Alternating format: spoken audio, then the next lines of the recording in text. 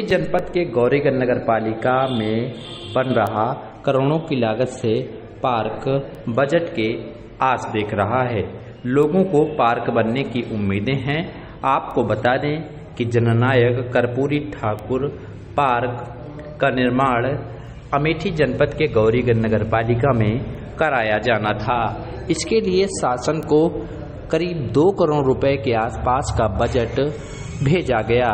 लेकिन वह बजट अभी तक स्वीकृत नहीं हुआ है। बजट की डिमांड के लिए बार बार विभाग द्वारा पत्राचार भी किया जा रहा है, लेकिन अब तक बजट न मिल पाने की दशा में पार्क आधा अधूरा है। वहीं लोग पार्क की आस देख रहे हैं। आपको बता दें कि ज़िले का 2010 में गठन हुआ, जिसके बाद से आज तक यहाँ पर कोई भी पार्क लोगों की सुविधा के लिए नहीं है। ऐसे में लोगों को पार्क न होने की दशा में परेशानियाँ होती हैं। लोग भी पार्क की उम्मीद लगाए बैठे हैं कि जल्द ही उनके जनपद मुख्यालय पर एक भव्य पार्क होगा जिससे वे अपने मॉर्निंग वॉक के साथ वहाँ पर प्रकृति का और परिवार के साथ समय व्यतीत कर सकेंगे। आपको बता दें कि पार्क करोड़ों रुपए की लागत से बनना था। पार्क में सभी व्यवस्थाएँ सुदृढ़ होनी थी, लेकिन वर्तमान समय के हालात यह हैं कि पार्क का निर्माण पूरी तरीके से रुका पड़ा हुआ है। स्थानीय युवाओं का कहना है कि पार्क बन जाने से हम सबको काफ़ी फ़ायदा होगा और हमें समस्याओं का सामना भी नहीं करना पड़ेगा। आपको बता दें कि जननायक कर्पूरी ठाकुर पार्क का निर्माण वार्ड नंबर नौ, मिसरौली, गौरीगंज नगर पालिका में किया जाना है। वहीं अधिशासी अभियंता अवनीश कुमार शुक्ल का कहना है कि शासन को पुनः बजट की डिमांड भेजी जाएगी और जल्द से जल्द एक बड़े पार्क की वो हम सब जनता को सौंपेंगे। क्या, क्या नाम है आपका? यही है कि इसको जल्द से बनना चाहिए। हम लोगों के लिए जो है लाभदायक रहेगा हम लोग दौड़ने के लिए टहलने के लिए।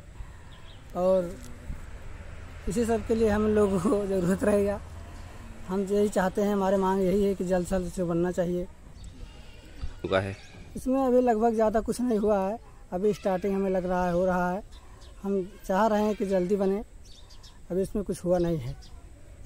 अच्छा। हम लोगों की मांग यही है कि जल्दी जल्दी से कंप्लीट किया जाए। हम लोगों की तैयारी चल रही है। ठीक। भर्तियाँ देख रहे हैं। ठीक। और लोगों के लिए भी फ़ायदेमंद होगा पार्क? और लोगों के लिए होगा। सब टहलेंगे घूमेंगे। ज़िले में आसपास? नहीं है नहीं है। यहाँ पर नहीं है आगे बगल नहीं है। इसको जल्दी से जल्दी बनवाया जाए? यहाँ पर और मतलब गाँव के बच्चे बच्चे सब आए जाएँ इसलिए और क्या, क्या मांग है आप लोगों की खास करके? खास करके मांग है कि जल्दी से जल्दी यहाँ पर व्यवस्था करवाया जाए सब कुछ चीज़ का काम चालू हो। हम लोग के लाभदायक रहेगा। और बन जाएगा तो। हाँ होगा लाभदायक। ठीक।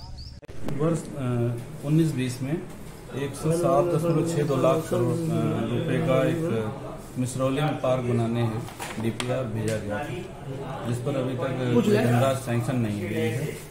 और वर्तमान परिस्थितियों को देखते हुए इसकी लागत में भी बढ़ोतरी होने की संभावना है, क्योंकि जीएसटी पहले से बढ़ चुकी है। इसलिए इसका रिवाइज एस्टिमेट कराते हुए हम लोग शासन को दोबारा से प्रस्ताव भेजेंगे और नगर को एक भव्य बार देने का प्रयास करेंगे। ठीक, सर।